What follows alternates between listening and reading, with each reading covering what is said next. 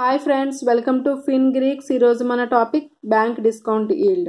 ఇక్కడ మీరు ఎగ్జాంపుల్ చూస్తే calculate the bank discount yield for the T bill price rate ninety eight thousand five hundred dollars with a face value of one lakh dollars and one twenty days until maturity treasury bills మనం తీసుకుంది ninety eight thousand five hundred dollars కండి దాని మార్కెట్లో face value one lakh ఉంది.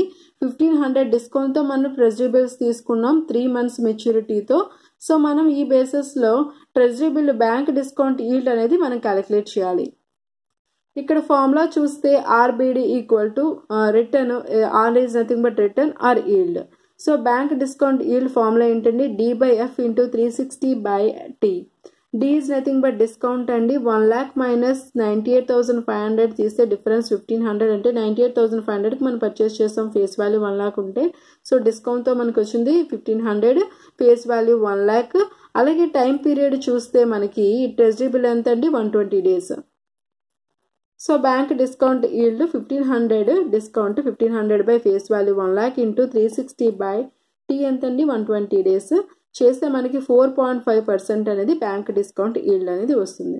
So ఇది friends ఈరోజు video thank you thank you so much